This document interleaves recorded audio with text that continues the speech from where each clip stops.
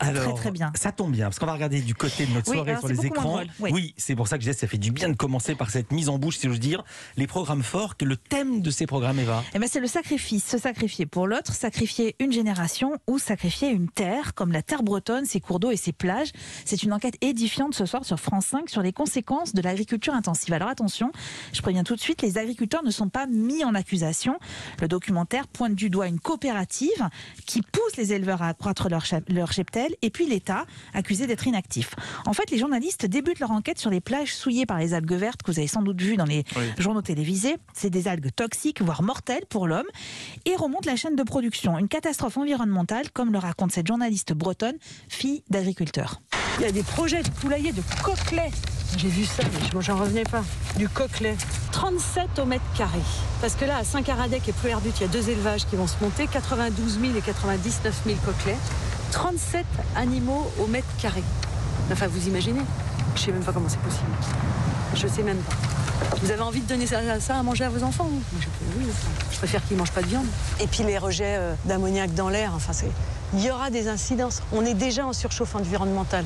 La seule voie de salut pour la Bretagne, ce serait de baisser le nombre d'animaux, de tous les cheptels.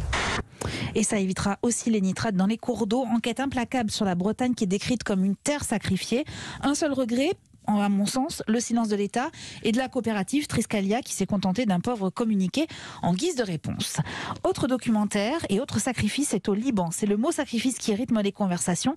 Arte diffuse un film intitulé Liban, l'épreuve du chaos, l'histoire de ce pays indépendant depuis 1943 qui a été marqué par des drames, occupation par les armées étrangères, guerre civile, bombardement, jusque à cette terrible explosion au port qui a ravagé une partie de la ville il y a quelques semaines et qui a fait 200 victimes. Une tragédie symptomatique des maux auxquels confronté le Liban depuis des années.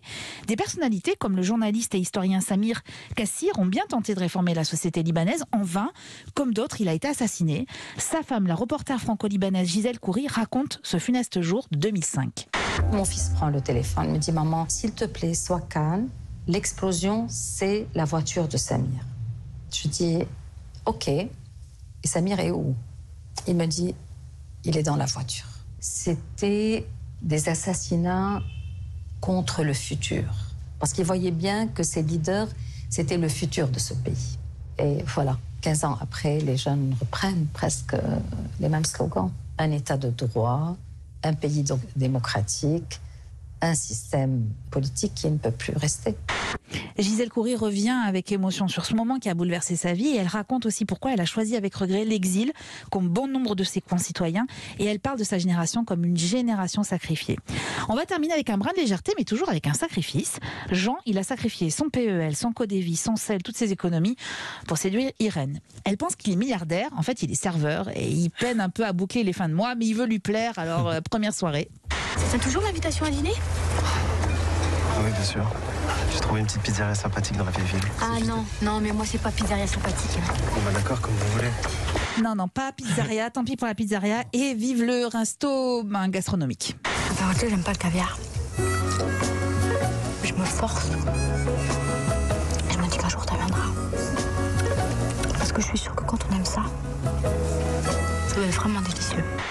J'adore cette vanne. Gad Elmaleh face à Audrey Tautou, c'est le duo du soir dans la très jolie comédie romantique de Pierre Salvadori, hors de prix. Un numéro d'acteur servi par des dialogues croustillants, le film qui fait du bien. Pardon Bertrand, voilà, Mais la boucle est bouclée. Voilà. Ouais. Je récapitule. Bretagne, une terre sacrifiée est à voir sur France 5 à 20h50. Une génération sacrifiée, c'est dans Liban, l'épreuve du chaos sur Arte à 22h25. Et un code de vie sacrifié, c'est dans Hors de prix sur France 2 à 21h05. Merci beaucoup, Eva Rock. À tout à l'heure. Merci.